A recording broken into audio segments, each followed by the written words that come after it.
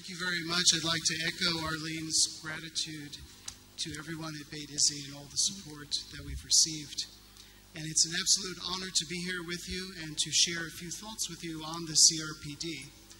In addition to have disability advocacy in Israel, I've also shared with Naomi and Jean that I'm part of the extended Beit Issie family. My cousin's son benefited for many years from Beit Issie, and so you are very dear to me, and it's an added pleasure to be here with you. Professor Kanter was kind enough to set the stage on the CRPD, leaving me some more of the fun to discuss various aspects of the negotiations, where the convention is going around the world, what it's doing, to touch upon issues of legal capacity. The CRPD, as many of you know, is the first human rights treaty of the 21st century. It is affecting global change. It is the largest, not to sound too much like a law professor, but the largest law revision, law creation endeavor around the world. Less than one quarter of the world's countries have systemic disability laws. And whether they have ratified the UN Convention or not yet ratified the UN Convention, it is also creating a civil society development and a focal point around which DPOs, who have always been active, but now have a goal in mind and a uniform goal in mind to work towards achieving their rights. Put simply, it has changed people with disabilities from objects of charity to subjects of rights, and that includes not only the actions of state actors, but also, very interestingly, the actions of large international NGOs. We're seeing many of the old world NGOs like Handicap International and the Christoffel Blinden Mission, CBM, move from a provision and rehabilitation area, all of which is necessary and does good, but now including a rights based approach and fomenting and encouraging advocacy around the world. Most of all, it has created an expectation of rights. It has created a point around which people are claiming their rights and asserting their rights, perhaps for the first time, and with a lever to do it. Nothing about us without us is a theme we've heard it quite a few times the last few days, and so we are in a very exciting time. I still have to caution, though, that it is very early within the process. Just as we were finishing negotiations on the CRPD, there was a side session, an information session between the actual negotiations. And uh, the chair, Don MacKay, was there. Professor Quinn and I uh, were the other people. And we told the disability community that, yes, they were seeing the end of the road we would have a convention. They had won the marathon. That was the good news. The bad news is it really was a triathlon. Most of the work lied ahead. And so it's really very early in the process. It's hard to see, it's e very easy to see some of the problems that are out there. It's harder to discern very quickly what some of the good practices are, although in that respect, and especially within this region, we're all looking forward to Professor Kanter's book. So we all have a bright future ahead of us. Well, why is there a disability treaty? Why do people with disabilities need a specific treaty? We know that after the UN was formed, we had seven core or legally enforceable human rights instruments, each of which applied to people with disabilities because we are people. We are covered under human rights treaties. We're human. Nevertheless, they were found to be especially ineffective in relation to persons with disabilities. For example, a special rapporteur, or what the UN system would refer to as a special master or an expert.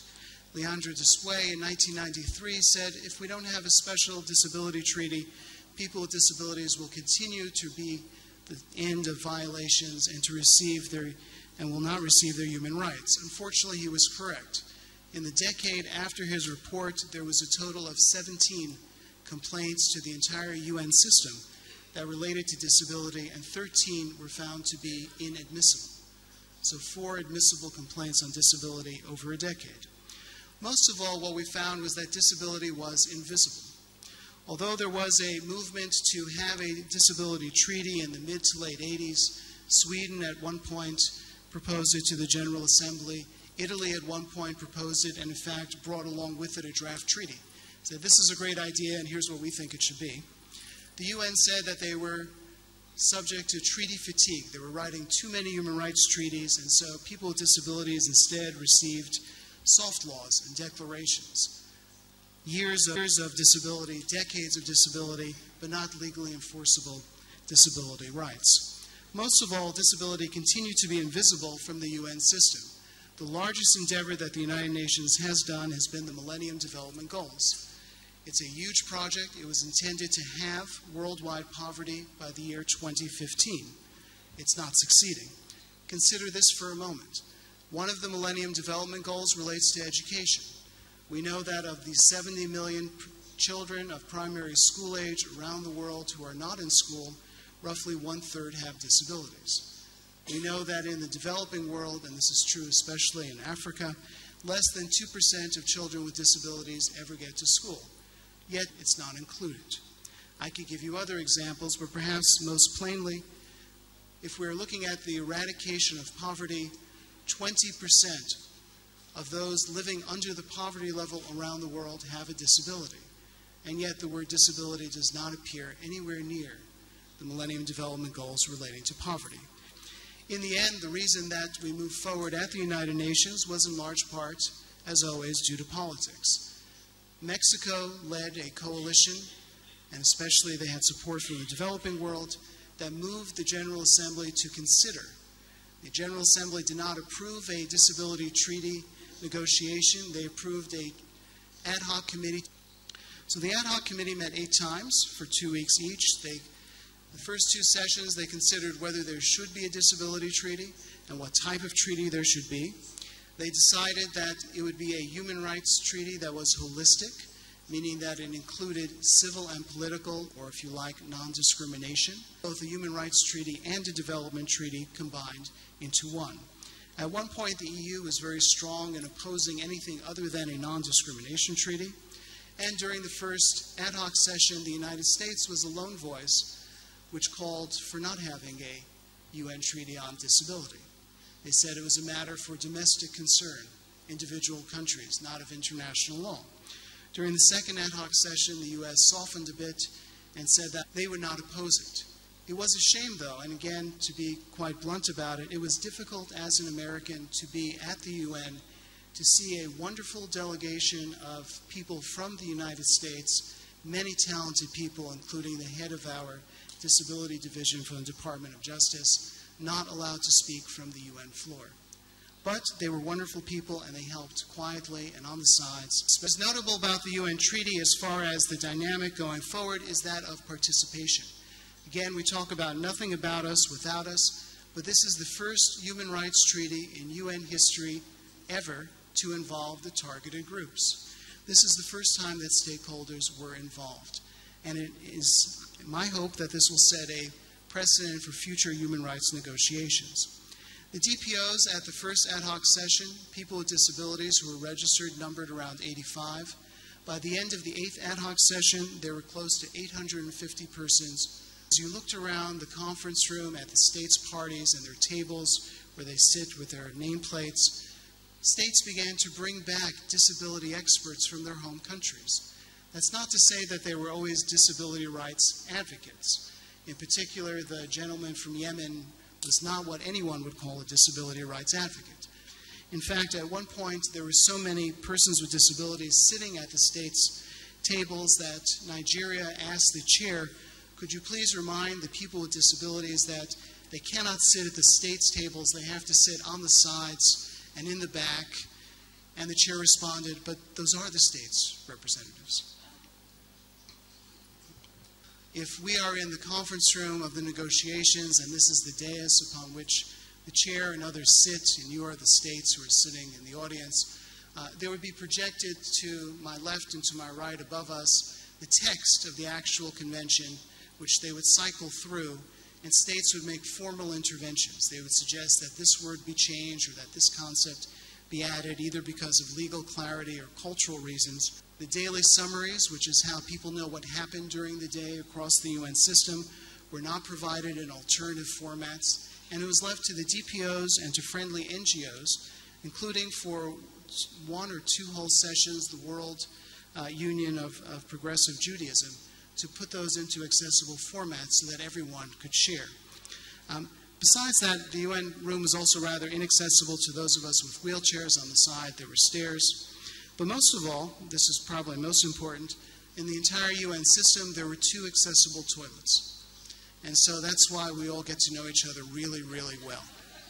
Um, Secretary General Ban Ki moon, about three years ago, his culture is an extremely profound statement at the lack of access and promised that the reforms in the UN would include, when they renovated, an accessible building. And he's keeping his promise. So the future looks better.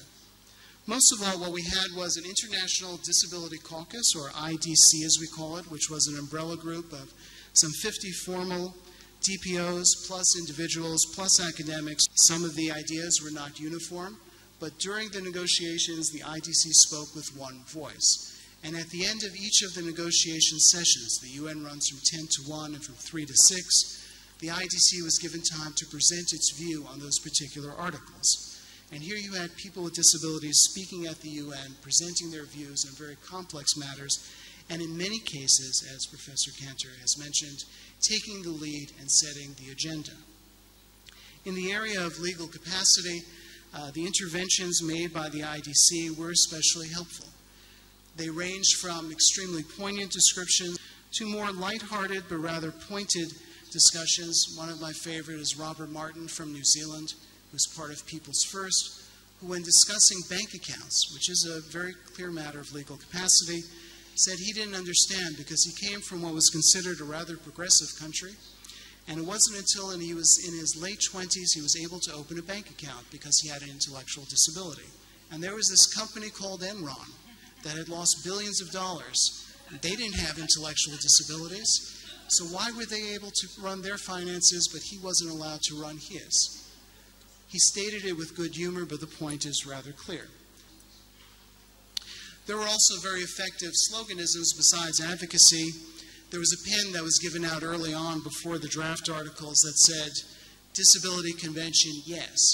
And if you look at the web streaming on the UN site at the day, December 13th, that the UN Convention was adopted, you'll see that Kofi Annan, in his second to last day at the UN, returned to the General Assembly Mingus pen with Disability Convention, yes.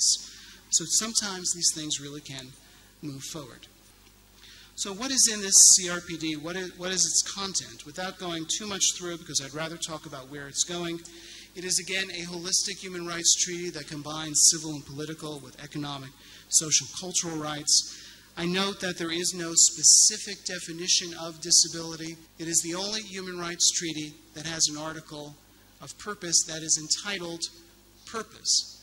And the reason that it's entitled purpose, in theory, is that one, a state cannot reserve, cannot say, we'll adopt this treaty, but we won't do this part of it or that part of it.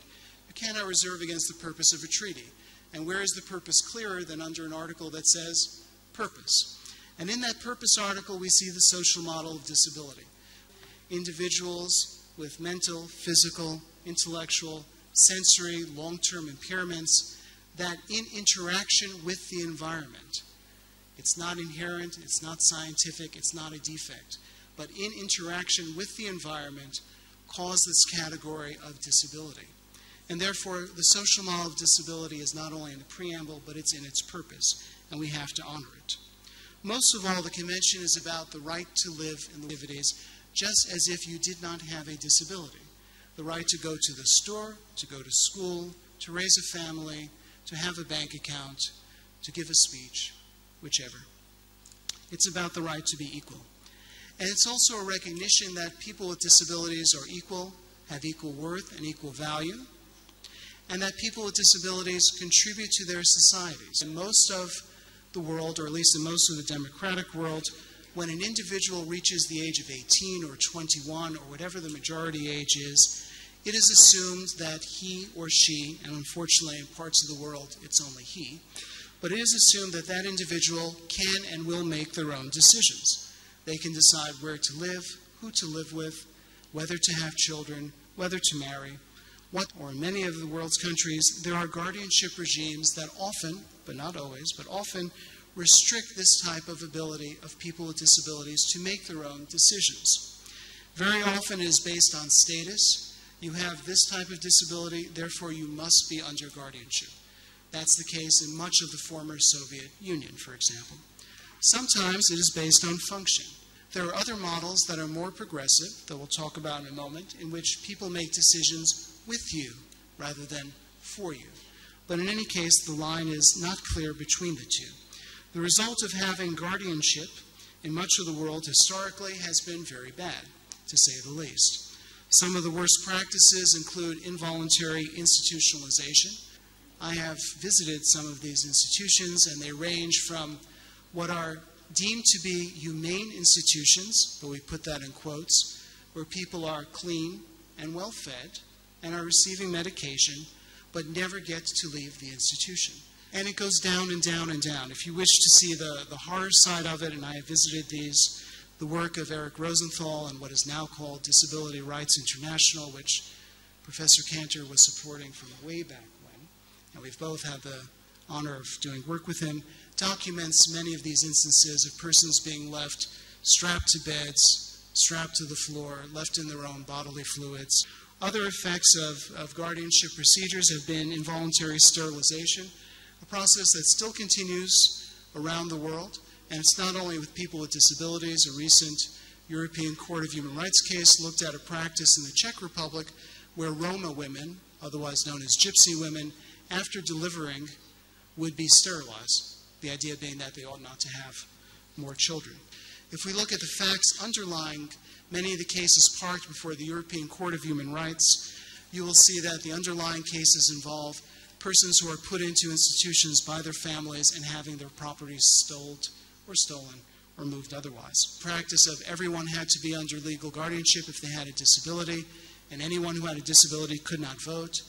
The European Court, in a case called KISS, uh, in a brief written by my SJD student when he was at a disability rights center, and a brief that I wrote in support of it, throughout the blanket process of not allowing anyone with a particular type of disability to vote. So we are seeing this. So Article 12 is a recognition of individuals as persons. It means that people with disabilities have a legal status equivalent to others, that they receive support where needed, and therefore, because it actually raises the cultural issue of those people being the same as us, those people with disabilities always being equal. To be fair, though, and to turn around on the other side, although we know very clearly what is wrong with legal capacity practices and stripping of legal capacity, we have not yet had enough information or enough time to understand what goes into the basis of intelligent, supported decision making. There are some very interesting examples in the Canadian provinces. There is some interesting work being done in Sweden. To be bluntly honest, without naming them, I did a one day workshop with donors on this issue who are supporting legal capacity experimentation and small grants. And they're very concerned that both experimentation go on, but also that there be representation. And I hope I don't get into too much trouble with this, but this area has been largely driven on the advocacy front by persons with psychosocial disabilities. And on one level, that's great, because they are among the more marginalized groups. On another level, when you look at some of the positions, you have to wonder whether they apply equally to all persons, including those with intellectual disabilities. And so the committee, which we'll talk about in just a minute, has decided in thinking about legal capacity to take its time and to see what evolves out of the jurisprudence. There are at least five cases lodged right now before the European Court of Human Rights that I've put in amicus briefs to. There are, no, there are 11 that are coming up, but the bad practices are clear. The low-lying fruit is very clear. Well, how is this, what is this convention going to do? And I'll keep us on track. One thing that's an effect of it is, again, this great Law Reform Act that, that we described. And here countries have to balance economic, social with civil political rights. There are some countries too far to one side. The United States is too far on civil rights. There are countries too far on the others. For at least the last 12 years, the Japanese community has been talking about adopting an anti discrimination law, and they're absolutely right about it. Uh, but they've also been talking about adopting the Americans with Disabilities Act ADA type model. And we have to remind them that it's their choice to do as they please, but Remember that Japan has the fewest lawyers per capita in the world, and the ADA is driven by confrontation. It has created an expressive effect, meaning that DPOs around the world can point to this convention and say, this is our right to participate, this is our right. Our government says that we have human rights. Believe it or not, when you've been repressed for so long and you live in dire poverty and social exclusion, having the UN say you're human, you're equal, and your government agree to it means a lot. In Korea, even after CRPD ratification, we did a training. But after the training, which was on employment, one of the young men who had quadriplegia asked, Why would an employer hire me? I'm only worth half as much as a normal person. His words, not mine. Why would he want to hire me? So we pointed to the convention which his government had ratified and taken great leads in and said, Your government says that you are of value. You add value to society. This is what we mean by an expressive change. We're seeing this around the world. And we're seeing the DPOs expect to be included, both as part of the convention's mandates and clear text, and as part of the dynamic in national action plans, in disability law writing. In the first meeting in Vietnam on the disability law, which was passed until the night before, the ministers did not want disabled persons to attend. And we kept negotiating back and forth, and I said, no disabled persons, no disabled law professor. And it wasn't until late at night that they agreed to that. And then when the disabled persons attended, they were allowed to ask one question and then they were ignored. Later in the process, at a wonderful uh, event which Professor Kanter provided a lot of support on, on the legal drafting, we actually went and sat around tables and argued with each other with a lot of guidance from Professor Kanter and others on what should be in that law. So the idea of participation is taken forward as a norm. Finally, it's a matter of attitudes. It's a matter of individual attitudes and state attitudes. It's a matter of individual attitudes, as in disability rights champions versus disability rights resistors, but also compare the, the differences in attitudes between parents. Most parents are wonderful and do the heavy lifting and advocate for their children, but not all. And again, ultimately, it's a matter of attitudes. And it's always a matter of priorities. It's a matter of, I can't tell you how many I've spoken to who say, if only we had money, we would do disability work. And then you say, but you're doing poverty alleviation, aren't you? And they say, yes. You're doing education for all, aren't you? And they say, yes. You're doing HIV and AIDS awareness and training, aren't you? And they say, yes. You say, well, why isn't disability part of that work now? To keep us on time, I got it. CRPD committee, there is a committee which is tasked with implementing the convention. Uh, it is now in its full size uh, of 18 members. It meets twice a year for one week in Geneva. The sixth session is coming up in September. Um, it has now been expanded to 18 people. To my knowledge, and, and correct me, um, every one of them, to my knowledge, has a disability. The chair who was elected just as the 12 were ending, and some of the 12 left because that's how it was created, some had to cycle off, uh, is an amazingly intelligent, capable, diplomatic, politic person with a disability, Ron McCallum. Having said that, they meet for one week twice a year. They are starting to receive reports from states, and they are already behind on their reporting because they are not given the resources or the time to get through these reports. So when DPOs talk about writing complaints, I think, frankly, it will be a long time before we see them respond to individual complaints. I think if they respond to any complaint, it is more likely to be a joint or systemic violation. They very wisely decided to hold off on their comment on legal capacity, their interpretation of it, until more information is available. But they're moving forward with a comment on accessibility. And that'll give great guidance to persons. Um, so I guess I should end here only by saying that the difference between rights on paper and laws and treaties and reality on the ground is all the people in this room. You are the ones who are working every day on your own behalf, on behalf of others with disabilities, on behalf of communities, on behalf of other individuals with similar interests, the women's sector, the children's sector, here in Israel, often the Israeli Arab sector.